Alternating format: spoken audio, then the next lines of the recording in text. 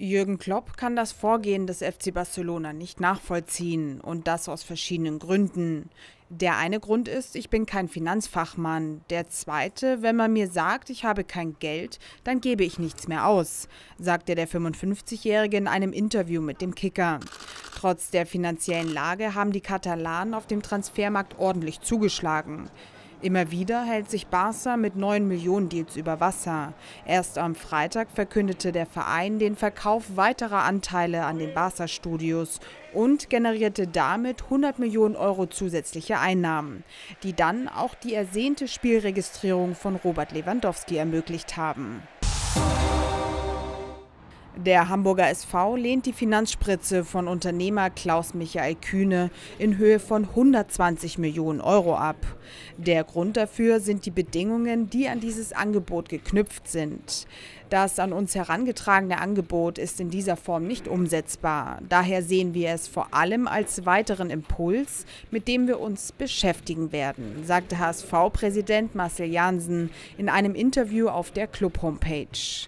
Vor allem die Forderung des Milliardärs stößt beim Club auf Ablehnung.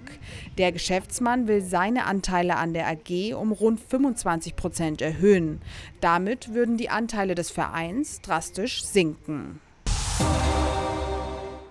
Trotz seiner schweren Knöchelverletzung führt Alexander Zverev das deutsche Team beim Davis Cup Heimspiel in Hamburg Mitte September an.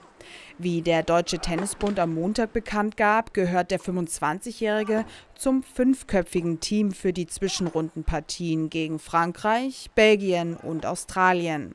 Zverev arbeitet nach einer Bänderverletzung im rechten Knöchel gerade an seinem Comeback. Einen Start bei den US Open Ende August hält sich der Olympiasieger allerdings noch offen. Richard Ringer hat bei den European Championships in München überraschend Gold im Marathon gewonnen. Der 33-Jährige triumphierte mit einem sagenhaften Endspurt in 2 Stunden 10 Minuten und 21 Sekunden vor Maru Teferi aus Israel. Der deutsche Rekordhalter Petros, der auf der langen Zielgeraden auf Silberkurs lag, landete am Ende auf Platz 4. In der Teamwertung gab es für Deutschland zudem Silber.